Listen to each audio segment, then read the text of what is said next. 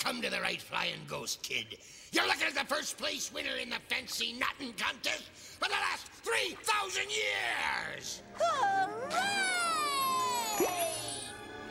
You're gonna have to not do that. And stop staring at me with them big old!